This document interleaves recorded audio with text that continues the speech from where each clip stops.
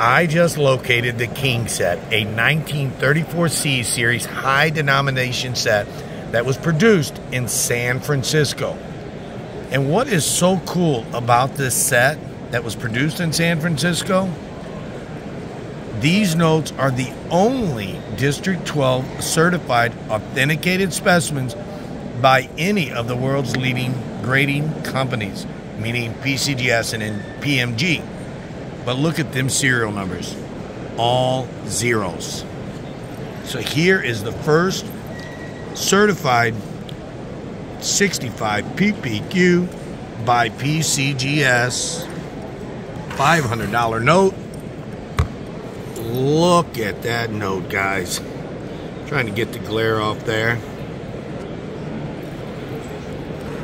That is beautiful.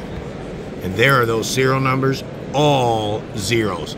Now let's move over here, also graded by PCGS Currency, graded a PPQ 65, Gem New, $1,000. Again with the serial numbers, all zeros, LB for San Francisco, 34C. Let's take a peek at that back and look at that, guys.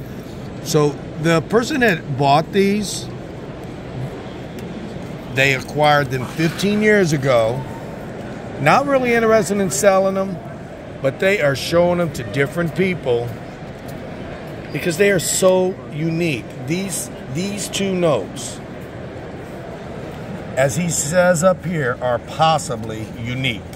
And they were not meant for circulation.